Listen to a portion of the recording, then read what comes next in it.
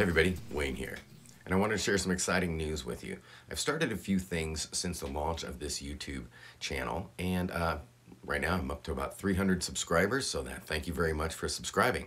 Now, if you want to support more of what I do, I've started a Patreon. You can find the link in the in the details below.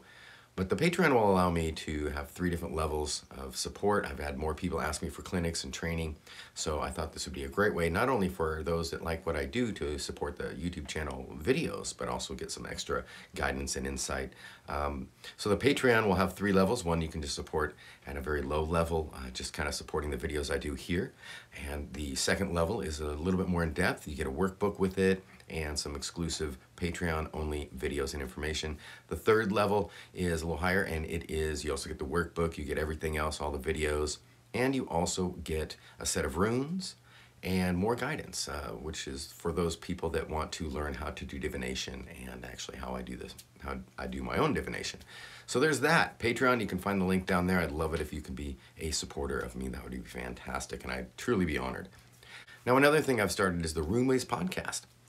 Um, that is available on Spotify, and you can listen to the first episode as well as the trailer there. I've got more episodes coming up, and those will also be offered to my Patreon people. So, hey, yes, the podcast will include not only some audio meditations, some insight articles that I'm uh, working on, as well as interviews with other practitioners.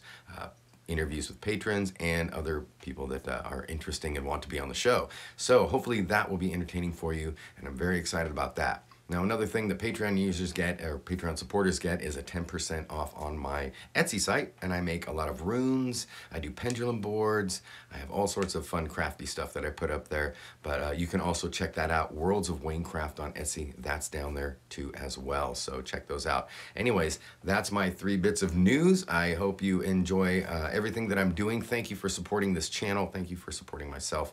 And I um, look forward to going on this runic journey with you. All right, until next time.